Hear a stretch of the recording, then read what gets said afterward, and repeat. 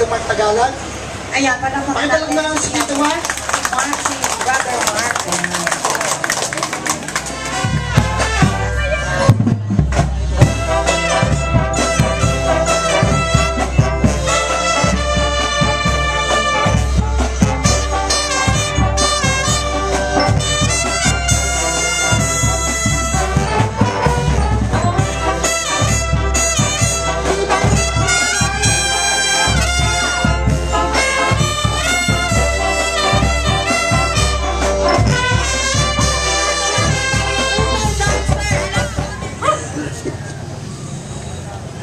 mapapansin ninyo po, mga kapatid at ah, mga panauhin, ito pong ah, lugar na kung saan itatayo po ang ah, Father Hopsti Angkop Homes ay ah, dati pong ah, pag-aari po ng ah, Department of Health na kung saan kung makita ninyo yung strukturang nakatayo pang yan ay dati pong COH quarter.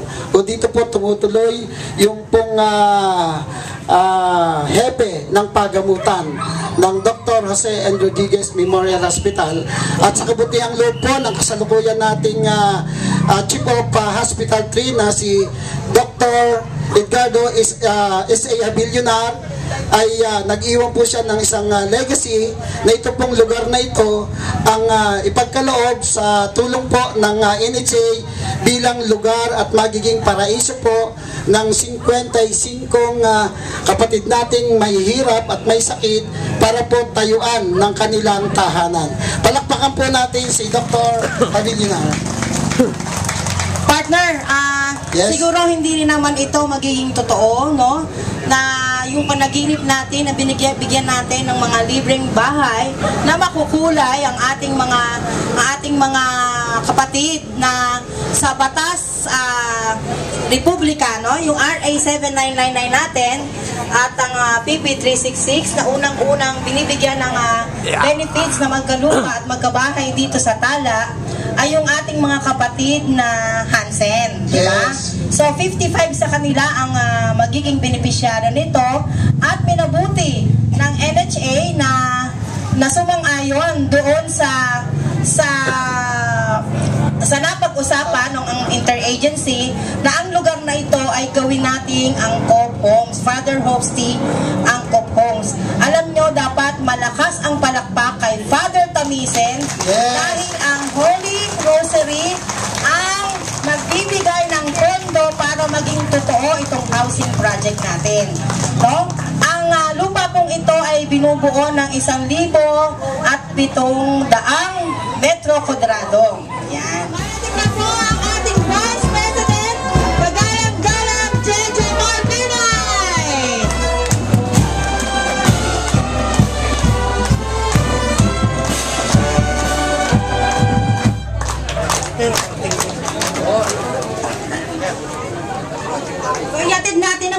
palakpak ng ating mahal na Vice Presidente.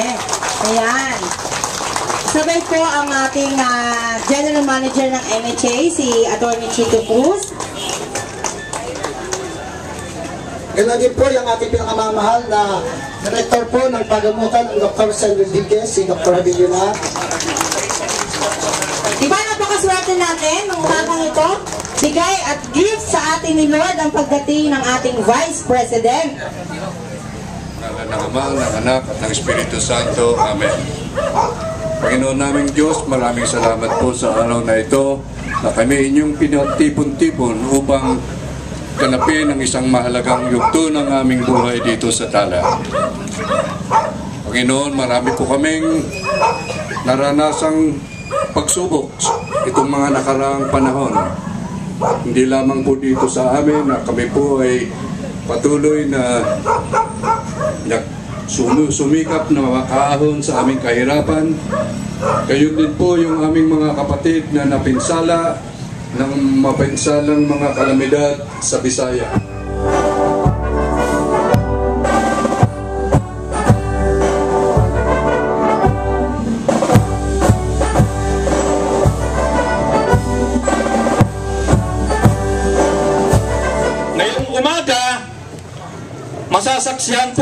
Natin ang MOA signing at groundbreaking ng 55 units.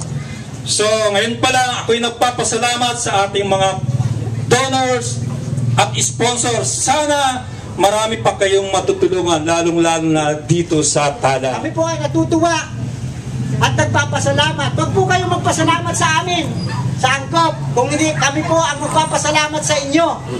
Dahil po, binigyan po kami ninyo ng pagkakataon na maibagay ang pagmamahal namin sa inyo sa ngalan ng ating Panginoon.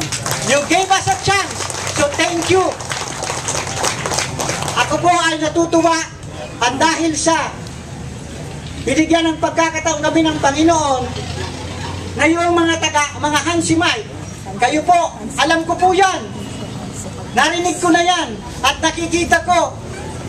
Kayo po ay magaling na. Magaling na po kayo. Pero ang iba sa inyo ay hindi tinatanggap ng inyong probinsya, ng inyong pamilya because of the stigma ng leprosy. Pero ang gusto lang pa namin sabihin, kaming lahat na nandito ngayon, tinatanggap po namin kayo ng buong pag-ibig. At kami po ay tutulong sa inyong pangarap na magkaroon ng decent Ah, housing. naalala ko, one year uh, inihap nang nakalipas na bago umalis si Father Paul, no? bago siya umalis ay sinabi sa akin, na sabi niya, Bitoy, mayroon pa tayong isang proyekto na dapat punduhan at ito ay ang housing.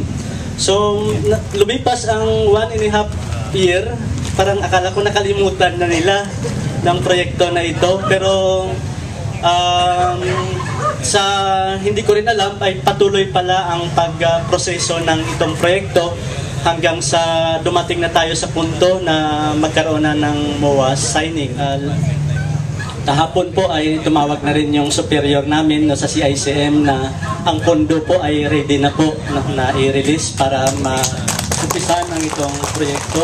So, itong araw na ito ay sabi nga nila, ito ay isang magandang pamasko no, para sa mga beneficiaries natin na sabi kanina ni brother ay dahil sa pagmamahal sa inyo ni Father Paul sa lahat ng mga may mabubuting puso na mayroong pagmalasakit lalong-lalo na sa ating mga kapatid na Hansinite. So maraming salamat po at ah, purihin natin ang Panginoon dahil sa mga biyaya na ipinagkaloob niya sa atin. Magandang umaga po sa ating lahat.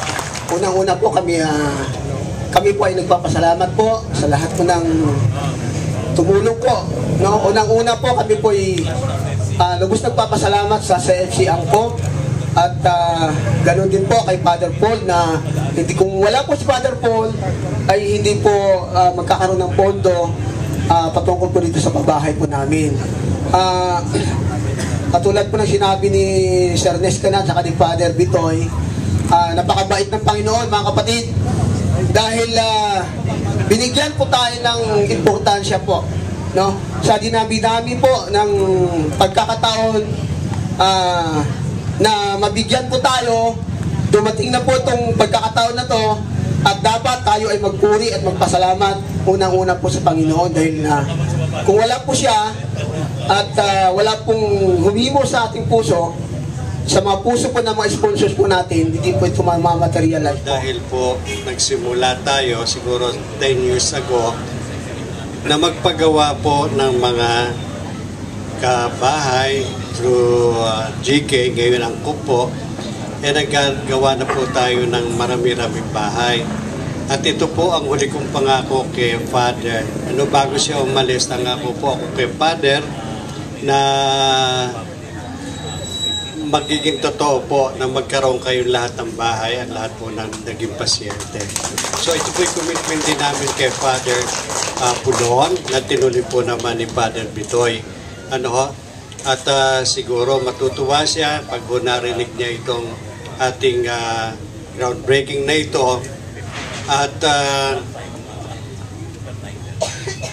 sa tulong po ng lahat, nangyari po ang dapat mangyari. Kaya lang siguro ang aking hihiling po, ah, siguro magkaroon din po tayo ng time frame kung kailan po matatapos ito para po si si ang ating Vice President eh bumalik dito para po naman sa sa aming sa ating ground sa ating ah, blessing ng bahay. Oka. ano ba ang may tutulong natin dyan sa gagawin ng angkop sa programa. Ang sabi ko, Vice, hindi na ho natin sila sisingilin ng building permit. At tutulungan pa natin.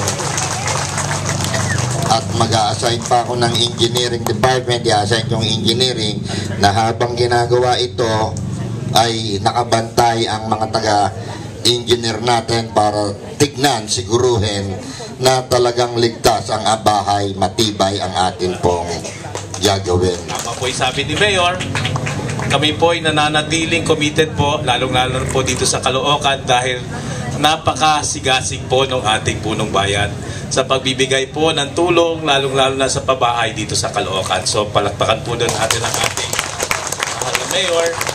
mula sa isang taon, eh kami ho ay mamimigay na ng maraming titulo ng lupa. So, nasunod ko na yung pakiusap mo, uh, uh, Mayor Roca, ah. hanggat, di basta't pag-umpisa ko namin sa isang taon, tuloy-tuloy na po yun hanggang sa mapabigay na yung 120 hectares dito. So, siguro, ano, ito lahat, habang bumabati ako sa inyo isang maligayang uh, at magandang umaga, eh bumabati na rin po kami maligayang Pasko at maligong bagong taon sa inyo. Thank you, bye. Pumayag po ang ating ah, Vice Presidente na magkaroon tayo ng photo op.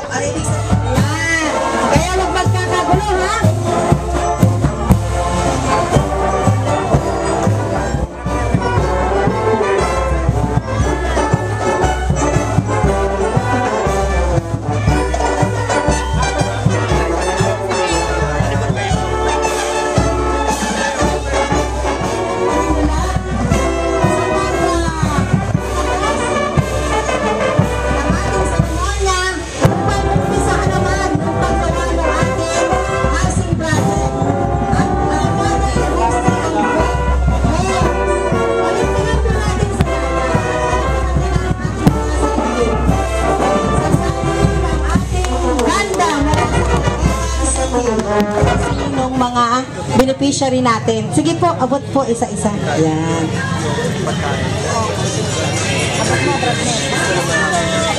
Yes po. Sila po ang nagpalaki niyan. Isa po sa ating mga, yung mga magiging beneficiary ay magaling humawak ng orchids. Ayan, pinapatubo nila yan. Yan po ay pinaka-gift nila sa inyo, sir. So, palakpakan bisita. Palakpakan din ang ating mga sarili. Tayo po ay binabasbasan na ng Panginoon kasi umaambon na. Tanda po ito ng isang masagana